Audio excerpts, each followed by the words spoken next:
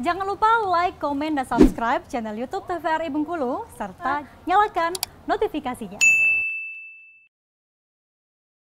Saudara, tingginya kasus DBD di Kabupaten Lebong saat ini dikhawatirkan akan terus bertambah di tengah intensitas cuaca ekstrim yang hingga kini terus melanda. Dari puluhan kasus DBD per Oktober lalu, saat ini di Kabupaten Lebong sudah mencapai ratusan kasus DBD yang menyebar di seluruh kecamatan di Kabupaten Lebong. Kepala Dinas Kesehatan Kabupaten Lebong menyebut kasus demam berdarah akibat serangan jamuk Aedes aegypti terus naik per Desember 2022.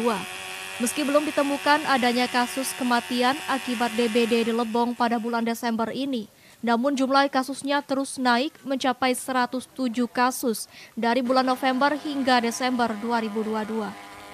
Sementara perbandingan bulan Oktober lalu hanya terdapat 87 kasus DBD. Penambahan kasus serangan DBD kali ini dikhawatirkan akan terus bertambah pada kondisi hujan yang terus melanda wilayah Kabupaten Lebong. Atas kondisi ini pun pihak Dinas Kesehatan Lebong terus meminta kewaspadaan warga untuk tetap menjaga kebersihan lingkungan terutama rutin membersihkan genangan air yang jadi pemicu perkembangan jentik nyamuk. Kita akan lakukan eh, PE, penyelidikan epidemiologi. Di samping itu kita lakukan untuk Eh, pembebasan apa? Pembersihan jentik nyamuk. Kemudian terakhir baru dilaksanakan fogging.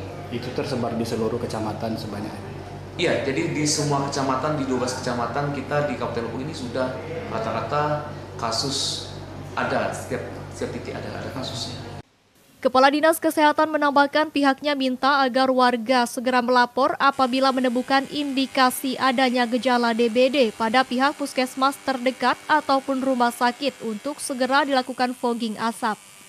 Diketahui saat ini kasus DBD di Lebong sudah menyebar di seluruh kecamatan tanpa terkecuali. Hal ini tergolong parah dibanding bulan Oktober lalu yang hanya terkonfirmasi pada kawasan padat penduduk. Tim Liputan TVRI Bengkulu melaporkan.